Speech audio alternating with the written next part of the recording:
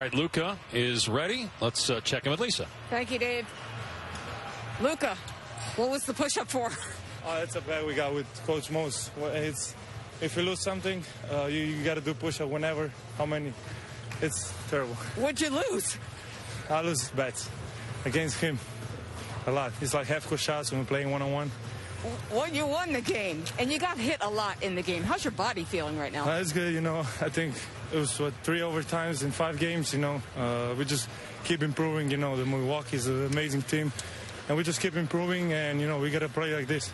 Luka, you guys were down seven with less than two minutes to go in the game, and you went on a run, tied the game, went up nine in overtime. What was really working for you guys then during that 16-0 run? I think defensive end, you know, Giannis is a MVP. You know, he's a hell of a player.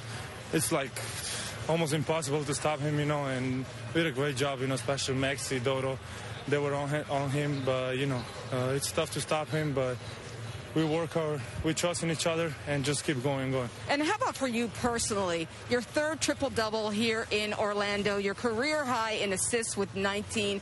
I asked you this before the game. Did you know you had 19 assists No, career high? no. I asked you this before the game, and I asked you now. What is feeling good with your game right now? I mean, I'm feeling fresh, you know, just trying to make the right decision. You know, sometimes I take a shot that I shouldn't have, you know, try to get my teammates involved. And, you know, getting better in defensive end for me is is important thing and important thing for the team and that's what I got to work on more. Thank you, Luka. Congratulations you. on the win. Dave? The future is whatever he wants it to be. It's as good as he wants it to be. Luka Doncic, just 21 years old,